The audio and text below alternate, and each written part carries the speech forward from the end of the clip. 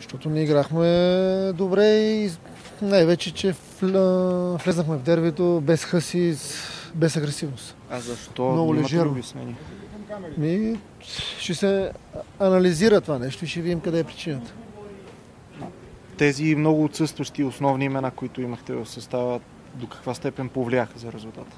Не, това не е оправдание и не искам да се оправдаваме с това нещо. Има момчета, които също тренират и се готвят за такива матчове, просто нагласта не беше като за дерби. Това е, което според мен е причината за лежерната игра на отбор. Като че ли ранния гол така до, до голяма степен повлия на, на играчите? Да, те първото поне имаха една атака и си вкараха, второто имаха две, си вкараха, ние имахме нашето положение, можахме да ги вкараме. Но не е това оправданието. Но общо като цяло играхме лежерно и без, без нужната агресия в едно такова дерби. Левски бяха по-добри в случая. Честитен победата, абсолютно заслужена. Липсата на основните футболисти ли беше ключово Ми, за загубата? Дали това, дали не, да анализират хората от спортно-техническия щаб. Аз лично смятам, че ако сега са мъже и имат претенции да са футболисти на ЦСК, имат шанс да го докажат. Ако не, откъде е? Отрази ли се загубата от отборът?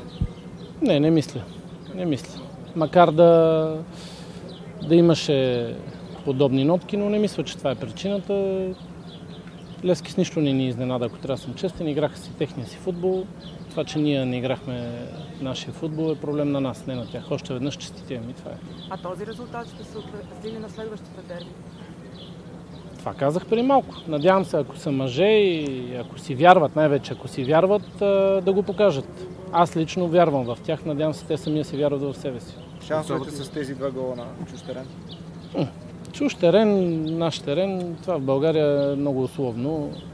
Вие вчера видяхте, че навсякъде в Европа, ако достатъчно си вярваш и, и, и го искаш, се получава. Надявам се те да си повярват и да го поискат.